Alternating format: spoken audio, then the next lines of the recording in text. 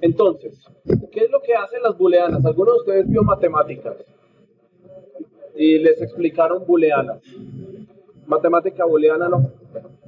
Entonces no me voy a meter ejemplos por ahí.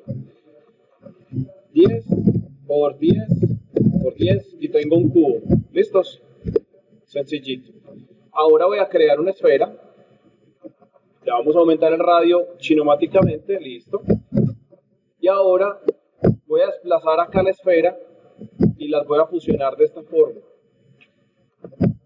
Es una esfera que está metida dentro del, pues no metida, pero sí está atravesada en el espacio con el cubo. Ahora yo me voy para el Modeling Toolkit. Si, se dan cuenta este boolean que está acá, los selecciono a los dos objetos y hago clic en boolean. Inicialmente el tipo de operación booleana es unión.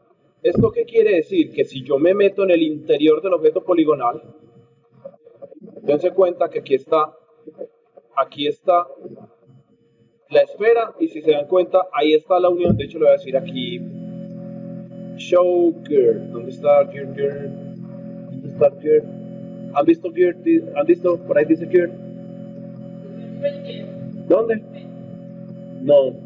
Mírala acá. Listo. Fin estoy en el interior del cubo y dense cuenta que aquí tenemos la capilla sextina.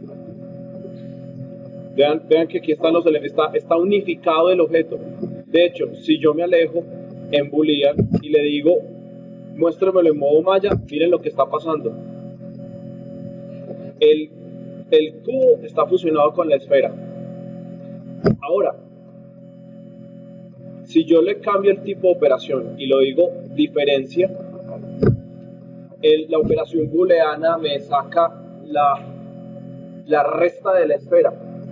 ¿sí?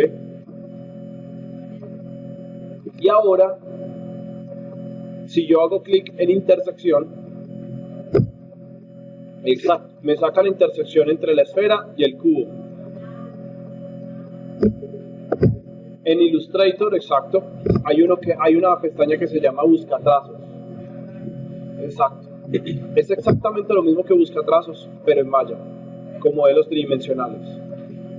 Se llaman operaciones booleanas. ¿Listos?